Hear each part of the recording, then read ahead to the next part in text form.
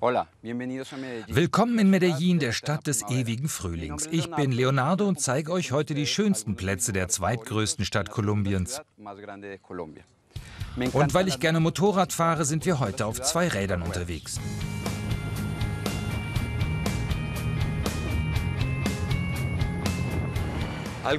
Manchmal ist das Durchkommen in der Stadt schwierig. Mit dem Motorrad kommt man am besten schnell ans Ziel.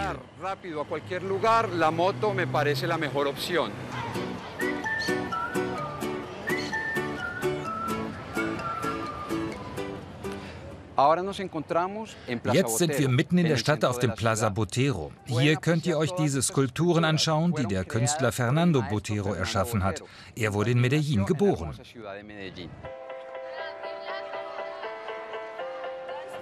Neben diesen Kunstfiguren gibt es viele andere einzigartige Dinge in Medellin. Zum Beispiel die Metro, die hier oben lang fährt. Es ist die einzige Metro in Kolumbien.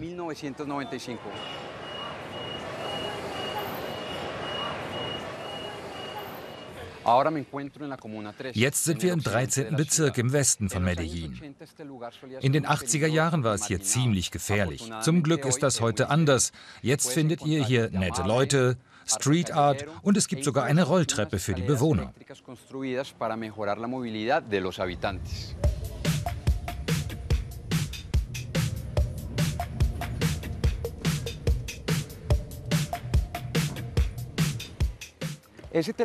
Zur Metro von Medellin gehört auch die Seilbahn. Sie hat drei Linien und dafür lasse ich jetzt mal mein Motorrad stehen.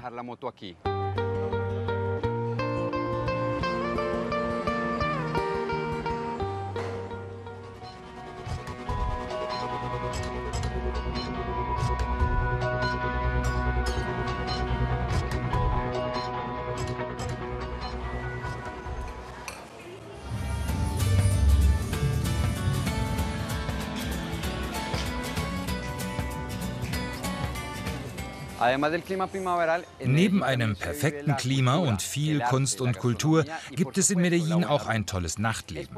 Zum Beispiel im Viertel El Poblado. Hier gibt es viele Bars und Diskotheken. Ob in der Woche oder am Wochenende, hier ist immer etwas los.